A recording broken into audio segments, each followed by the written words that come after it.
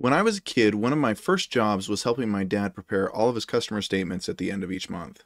Basically, he'd use these statements to remind his customers what he had done for them that month and what they owed him at the end of the month. I didn't really do anything technical, but I would fold up all the customer statements, put them in the envelope, and then lick each envelope. There were enough of these things that at the end of it, my tongue would be pretty sore. For various reasons, I no longer do things like that, and neither does my dad. But customer statements are still a valuable piece of the bookkeeping process for a lot of companies.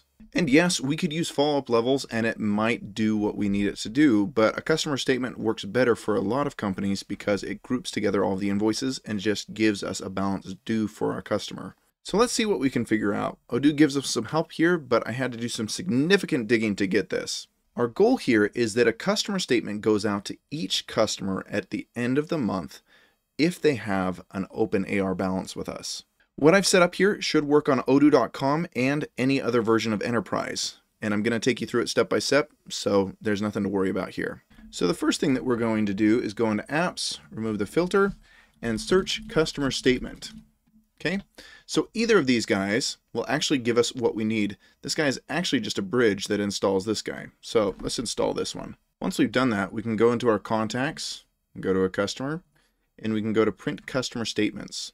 That brings us up a nice little report here that gives us a customer statement and it's showing the activity from the 1st of September to the 9th of September. Now that's not bad, and it might be great for certain situations, but we want this to run at the end of the month and we want it to show the detail for everything in the previous month. And yes, I do know that I could go to the partner ledger and I could run each of these manually and adjust the dates if I wanted to, but I really don't want to do that. I want this to run automatically and go out on an email. So let's go ahead and start digging into the more intense side of this. So let's make sure we're in developer mode, click the monkey, and we're going to go to scheduled actions real quick here. Let's create a new one and we're going to call this send monthly customer statements. Model doesn't matter too much for us here, but we're going to call it res.partner, which is our contact table. And go ahead and copy in that code that I provided you in the description because I love you guys. Now, because I wanted this to work in all versions of Odoo Enterprise, I had to simplify this a little bit. So what we're doing first here is setting the ID of the template that we're sending the email based on. We want to keep this nice and simple, so we're using all this functionality here. If you're not familiar with how to adjust email templates, you might want to check out my video here. Anyway, we grab the ID from right here, and we plug it in right here. Okay. The next thing that we want to set is today, and we're going to get the date that we ran this so that we can set up our name properly. After that, we're going to get any of the contacts that have a balance. So we're looking at credit is greater than zero on our res.partner table. And I'm limiting it to one for right now so that we can do that for testing purposes. You want to clear all of this out when you're ready to run it properly. Then we're saying for each of those contacts, we're going to render our report. We're going to create an attachment from that render. And then we're going to create an email, attach the attachment to it, and send it out. So let's go ahead and try this out. So click run manually and let's see what email we get. So looking back at our email template, we'd expect the name to be testing testing, no subject.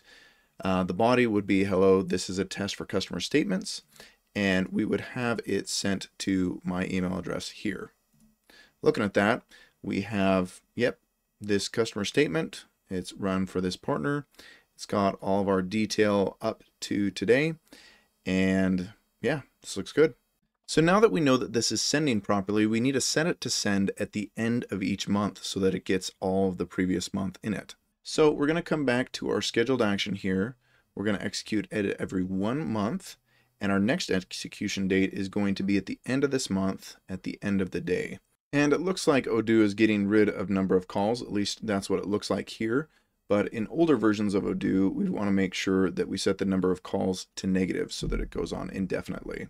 So now you should have a fully functioning monthly customer statement that goes out at the end of each month. If you have any questions about this, or really anything else, go ahead and drop it in the comments below, or grab some time on my Calendly. Thanks again for tuning in. I hope it was helpful to you, and we'll see you again soon.